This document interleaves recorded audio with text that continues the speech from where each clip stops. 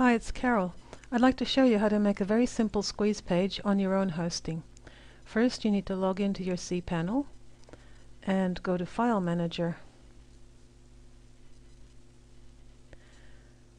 Then you click on your public HTML folder and create a new file. Sorry, it's out of sight just over here. I'm going to call this uh, demo5.html. Create new file. Now we'll scroll down and find it. And go to the HTML editor. Edit. Now, I want the page to look like this, so I'll put in my information bit by bit. Ooh, need to move. Sorry, I'll just squeeze my page down to fit. There we go.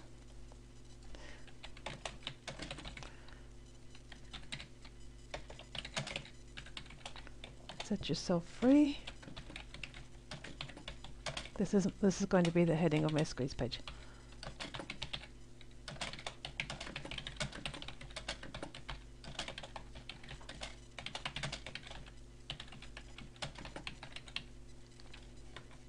And now I'm going to enter a table because I want the image to be side by side with the dot points and the opt-in form. So enter a table by clicking on this and I want a table that's um, one row and two columns and 600 wide. The border should be zero because you don't want outlines around your table columns. The alignment is centered so the table will be in the middle of your page. Advanced properties. Right now it says width is 600 pixels which we set earlier. The other thing I'd say, I'd set is whoops table dash background white. And the reason for that is if you go on to make a co more complicated page, with uh, a background color on your page, you don't necessarily want your table background to be the same color. Okay, there's our table. Now we can enter the image. Click on the image icon. Now I can use an image URL. Um, I could link that image so that you could put your affiliate link in there and have people click on it. That's good for a splash page, but not for an opt-in page. Could even upload one from my browser. It's very cool. I'll just go and get my URL for my image. This is the image I want. I'll do a right click, copy image location, back to my HTML editor, enter that URL in there. It's good to have some sort of alternative text. E-cover of how to make, I won't keep typing now, but you really should have something there. It's good for your SEO. Um, and like I said, if you wanted that image to be clickable, you'd simply put a link in there. And for target, you could put new window and then it would open in a new window if you wanted to. So click on OK. There's my image. Now, um, this first cell has spread right across the table. That doesn't matter. I'll click in the second cell and I'm going to type in my blurb, which is um, Whoops. Simple instructions. Lots of lots of screenshots. Make your first splash or squeeze page today. And then I'm going to put XXX. Sounds interesting, doesn't it? That's where my form code's going to go. So to add the form code, I need to do two things. One is I need to go into my source, and the other thing is I need to go to my autoresponder. So here I am in GVO, and I scroll down to autoresponder, and I found all my campaigns. The one I want is how the how-to campaign. Click on the Forms tab, and get the HTML for that form. Oops, I'll just bring that down. Right click, select all, Control C to copy it, And back I go to the HTML editor. Now I'm going to find that XXX. Oops, just double click. And delete it and replace it with my form code. Now click on source again. And there you go. My form code's in there already. Now, I really wanted to say download your free copy now. Oops. We'll make this red.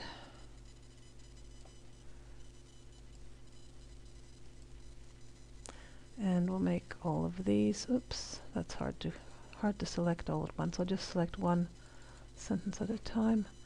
Make all that bold. Bold. And bold again. Not too bad, huh? And by the way, if you spend a lot of time thinking about things, just click on save once in a while so you don't lose your changes. Now, set yourself free.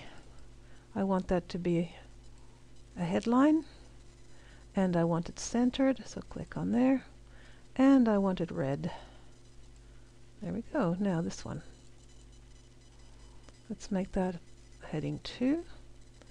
Center it as well. And that's a bit wide, so learn how to make and host. If I do enter here, that spreads those two lines out like that. It's a bit far, so I'll go back and do shift enter, and that puts a line break in there without spreading the lines out too far.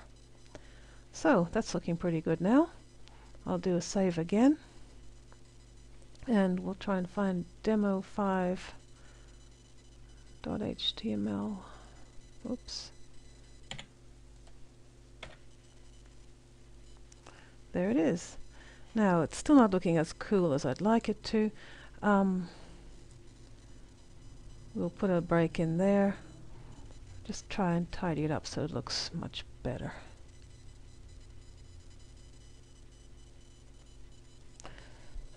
Shift enter.